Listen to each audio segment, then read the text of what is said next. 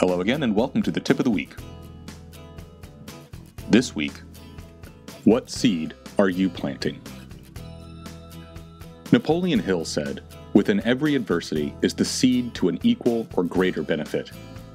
This is a revolutionary time, a time of evolving ourselves, our views, our businesses, our relationships, our strategies.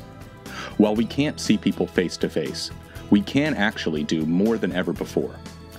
Many of our excuses for not networking are gone. The time element is much less, as we have no travel time to worry about. In many cases, the cost of networking is eliminated, or much less. We can fight what's happening, or we can take the opportunity and manage our relationships. We can look at what's a good fit for us and move to seeding that market. So, what seeds are you planting?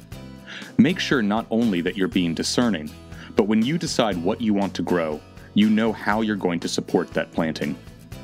Do you have the right fertilizers? Do you know the right mix of seed, soil, water, and nutrients? If you're not sure, now is the time to explore those possibilities.